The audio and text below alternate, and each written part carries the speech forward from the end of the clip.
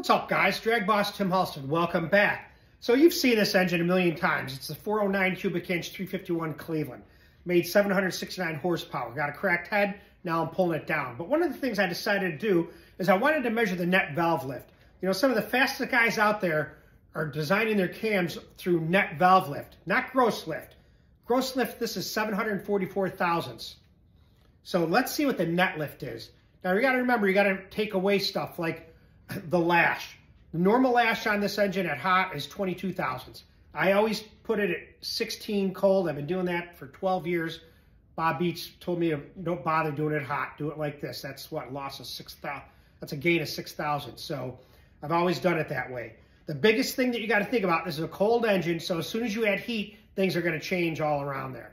You know, but I'm just trying to show you the difference between gross lift and net lift. And then we'll kind of talk about it. So let's measure that. The, the dial indicator's all zeroed up and perpendicular to the rocker arm and at the edge of the retainer. And I'll call it out to you. You won't be able to see the fine detail.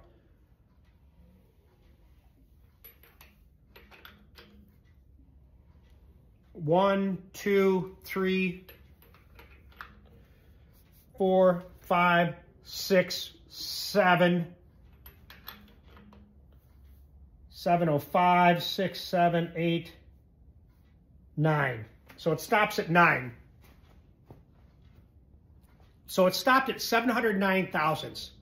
So when you look at that, the, the cam after you take the lash out was 728 thousandths. Minus this at 709 thousandths. And you have what? 19 thousandths.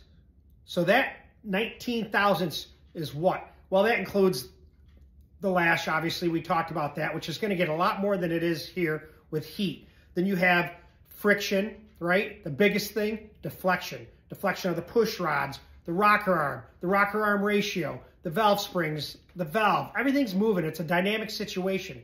So you're going to have, instead of having, you know, 19 thousandths, it's really going to probably be more in the plane of anywhere from 20 to some engines are up to 40. So you have to take that in consideration. There's a lot of dynamics and changes. This is merely kind of just to show you what I have. Now with that taken, with the intake valve at 700 lift and the flow of the heads at 385 uh, CFM, this is making 769 horsepower. So you do the math if you want and kind of see how close it is. But maybe it's time to try a bigger cam. Darin told me it needs a lot bigger cam. Uh, if it was in the